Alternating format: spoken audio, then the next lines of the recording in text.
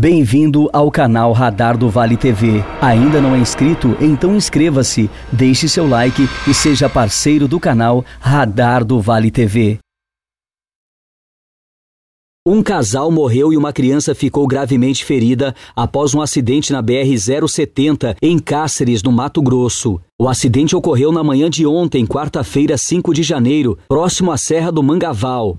No local, uma colisão entre um ônibus e um veículo Corsa Classic com placas de Porto Esperidião. O carro, onde estava o casal e a criança, seguia no sentido Cáceres a Cuiabá.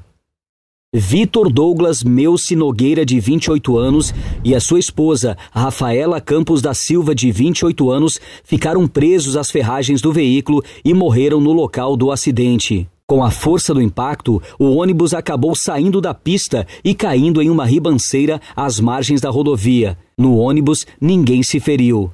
Socorristas foram acionados para atendimento às vítimas. Segundo relatos, a criança foi resgatada com sinais vitais. Ela foi encaminhada até o Hospital Regional de Cáceres com ferimentos graves. Já o casal estava sem os sinais vitais quando o resgate chegou. Segundo informações, o condutor do Classic teria perdido o controle da direção, rodado na pista, vindo a colidir com o ônibus. De acordo com testemunhas, no trecho onde ocorreu o acidente, a pista estava bastante escorregadia, o que pode ter sido uma das possíveis causas do acidente. O casal morava em Porto Esperidião, no Mato Grosso.